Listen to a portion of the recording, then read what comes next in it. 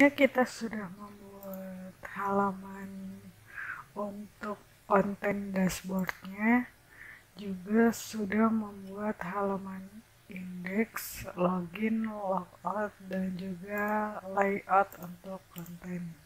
Selanjutnya kita akan membuat uh, halaman jabatan. Nah, halaman jabatan ini merupakan halaman awal yang akan tampil ketika menu data jabatan diklik. Nanti akan muncul uh, daftar yang berisi daftar jabatan yang telah dimasukkan. Kita langsung login.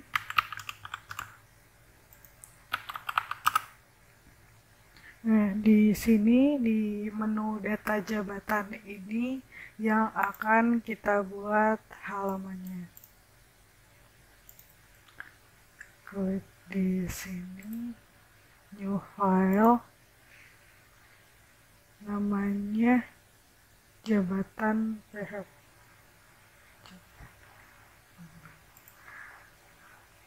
Baik, kita langsung mulai membuat halaman jabatan di dalam uh, folder konten. Klik new file simpan dengan nama jabatan kemudian kita ketikkan script berikut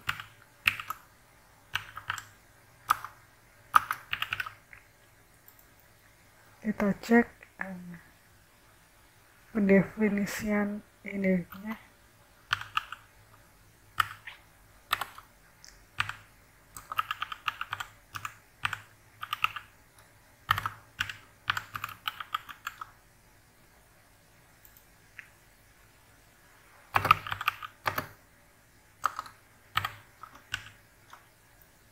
pendefinisian indeks ini untuk mengecek apakah dia sudah login atau belum. Kemudian kita akan membuat uh, header data jabatan dan juga tombol untuk menambah jabatan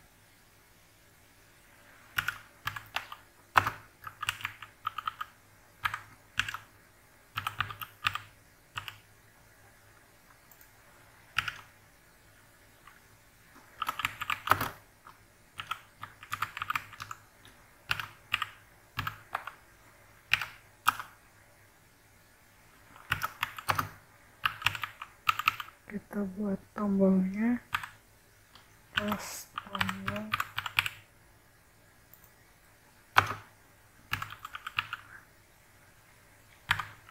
menuju ke link halaman jabatan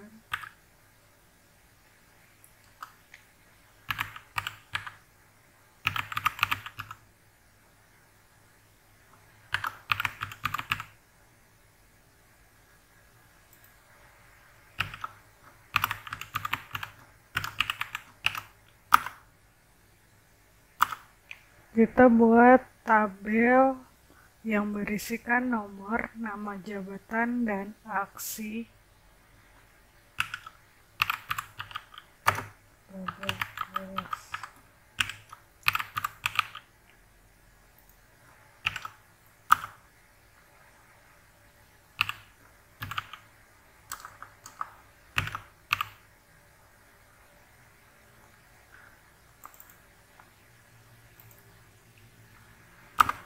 Dengan judul tabelnya tadi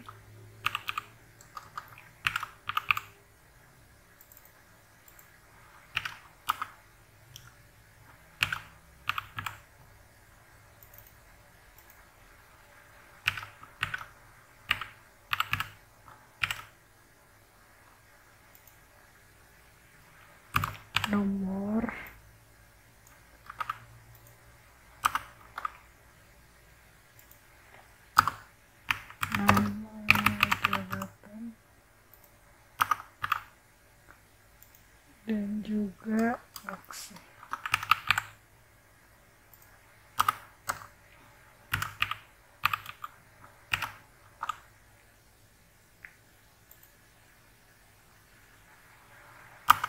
kemudian body table-nya.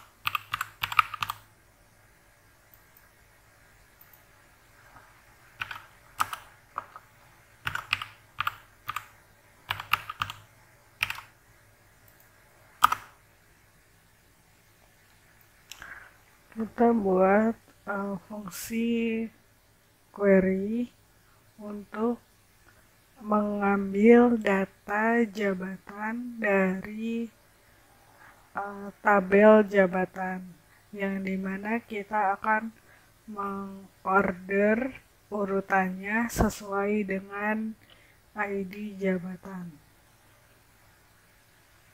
Kita buat script PHP nya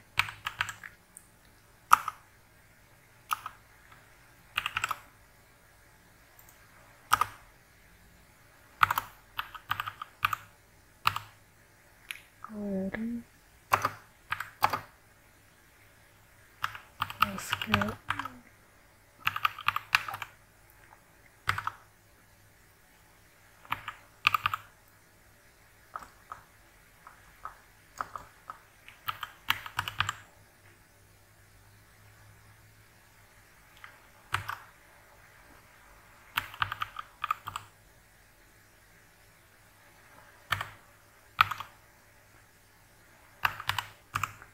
kita panggil koneksinya lalu kita pilih semua tabel dari data tabel jabatan order by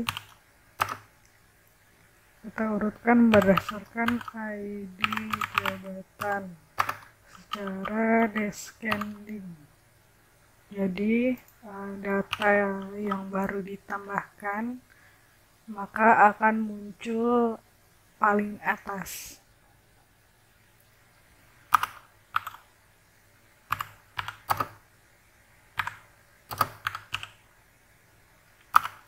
Kita buat looping while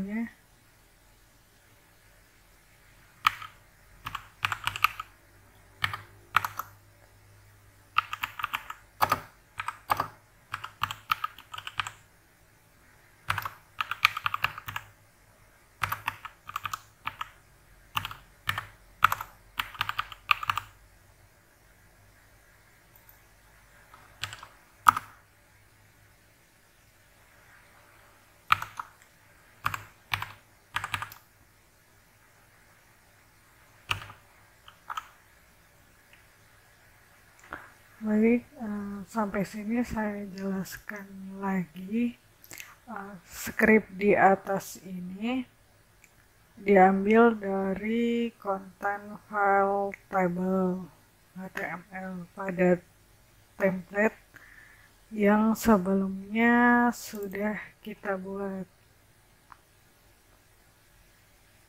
Ditambah dengan uh, script SQL-nya untuk mengambil data dari database. Setiap baris data yang dihasilkan dikonferensi ke array dengan menggunakan fungsi mysqli fetch array dan dilakukan perulangan hingga akhir baris menggunakan while.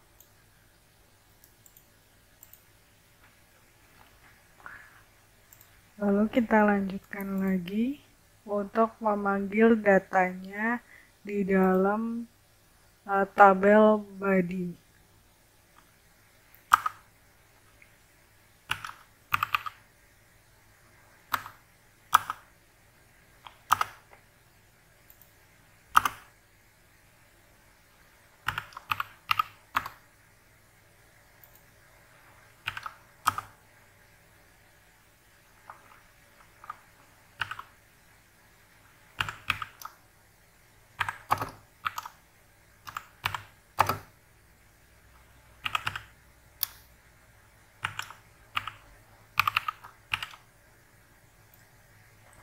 Kita kopas lagi ya ini.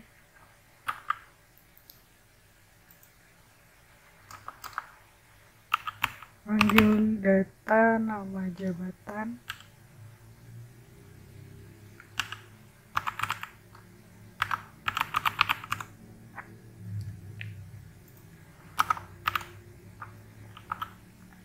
Dan yang terakhir kita buat di tabel aksinya yaitu berupa tombol edit dan tombol hapus berdasarkan ID jabatan yang telah kita pilih.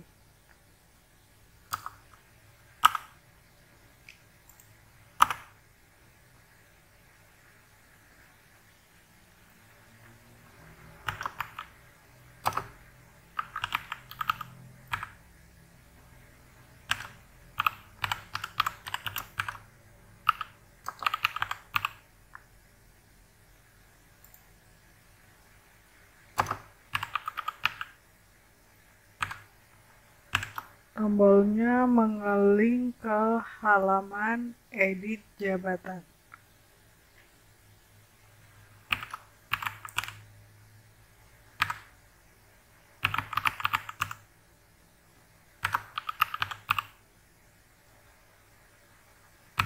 dengan ID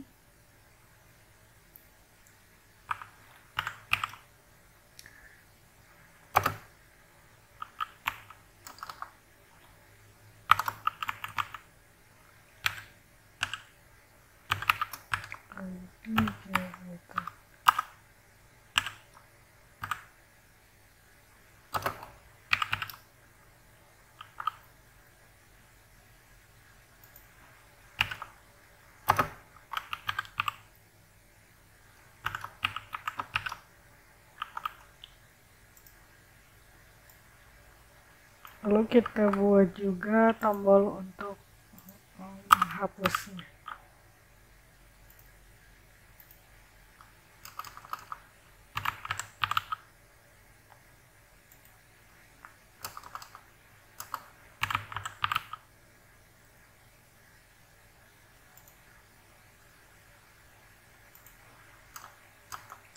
Ini dihapus ya karena looping while ini mencakup uh, seluruh tabel jabatan yang akan kita tampilkan.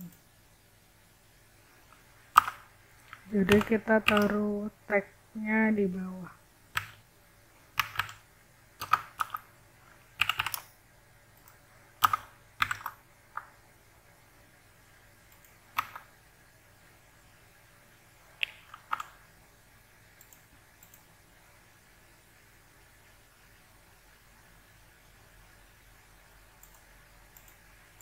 jangan lupa untuk menutup tag table.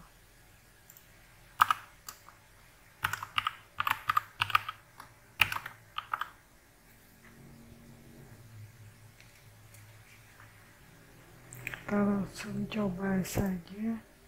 Sudah muncul atau belum? Di sini ada error di jabatan PHP di line kedua error undefined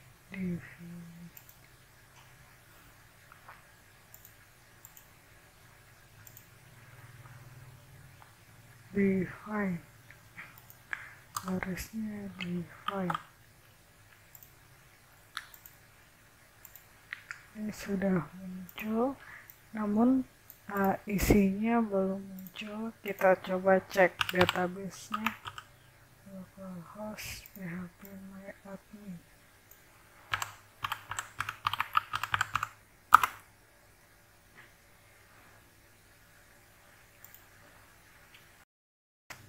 di pegawai di jabatan jabatan masih kosong maka dia tidak muncul. Kita coba langsung isi di uh, php myadminnya saja dengan nama jabatannya misalnya sekretaris sekretaris.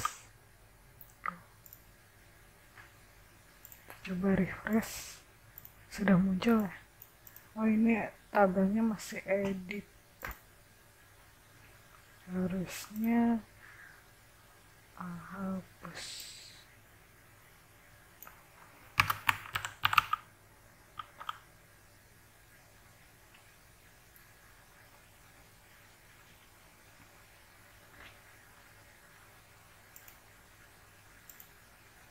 di sini masih berupa link ya belum uh, belum berbentuk tombol.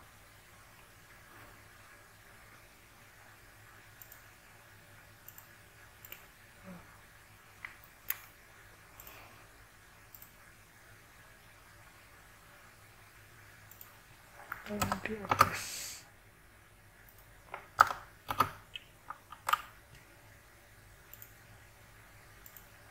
sudah muncul ya untuk edit dan hapusnya. Jadi salah di kelasnya untuk penambahan kelas harusnya kalau ada dua kelas dia tidak menggunakan underscore tapi dipisah.